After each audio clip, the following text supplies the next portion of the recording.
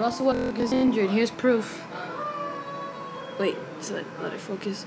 Russell, Thunder, Thunder guard. Camera, focus. It says Thunder guard Russell Westbrook knee to miss start of rest of training camp. PRP injection. So this is not good, guys.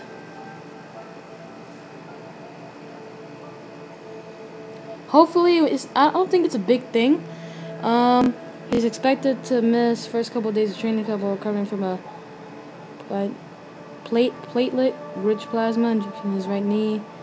Uh, to reporters to team media, according to uh, Westbrook has a history of injuries in his right knee stemming from a torn.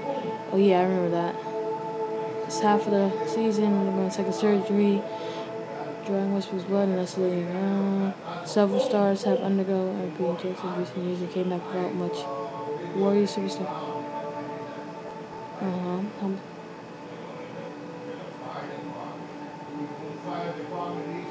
Yeah.